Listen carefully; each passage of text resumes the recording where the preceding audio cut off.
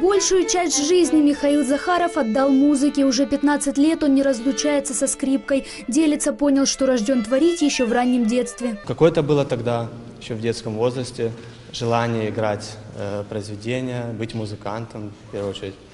То есть, ну, потом оно становилось все сильнее и сильнее. Два месяца назад скрипач открыл для себя уникальный инструмент. Эту небольшую скрипку сотворил итальянский мастер Джузеппе Гальяно больше двух столетий назад.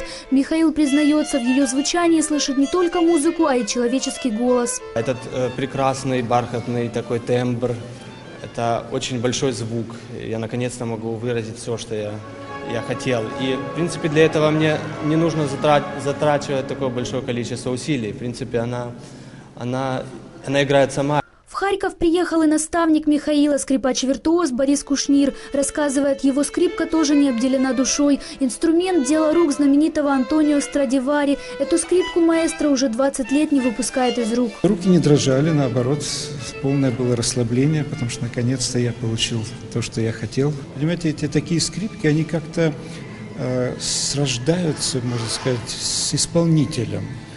Потому что Эм, они как бы чувствуют душу исполнителя.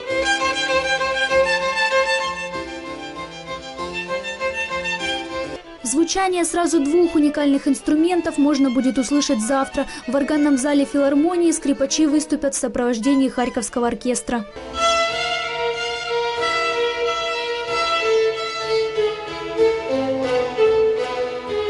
Марина Ступак, Борис Буцевич, медиагруппа «Объектив».